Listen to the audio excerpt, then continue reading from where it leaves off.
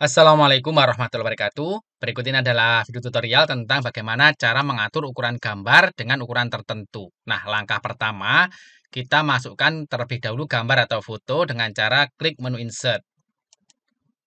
Nah, kemudian silahkan pilih menu picture, ini di group illustration.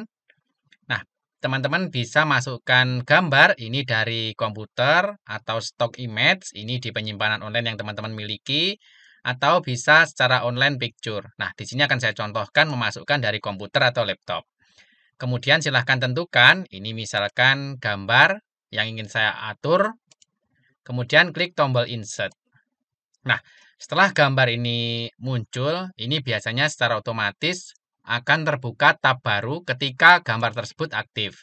Contoh seperti ini, ketika saya klik, nanti akan muncul menu baru yaitu picture format. Nah, teman-teman untuk mengatur ukurannya, teman-teman klik, kemudian bisa pilih di bagian menu size.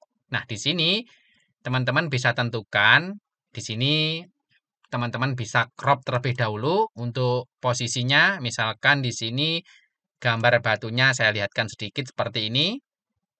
Apabila sudah, klik di area luar. Nah, kemudian untuk ukurannya, teman-teman silahkan klik kembali, pilih di bagian size. Nah, di sini tingginya ini dalam satuan sentimeter, teman-teman bisa ubah. Misalkan di sini saya perbesar, di bagian bawah juga ikut besar. Apabila tidak ingin seperti itu, teman-teman klik saja di bagian menu size. Kemudian di sini di sini kita hilangkan, kemudian kita ubah ukurannya. Misalkan 9, di sini lebarnya misalkan 15. Di sini ketika klik kita klik di area luar, di sini tidak ikut berubah. Ini terlalu banyak, 15 cm. Apabila sudah, kita klik tombol OK. Berikut hasilnya. Ini ukurannya 9 kali 15 cm. Nah, semoga video singkat tentang bagaimana cara mengatur ukuran gambar ini bermanfaat. Terima kasih. Wassalamualaikum warahmatullahi wabarakatuh.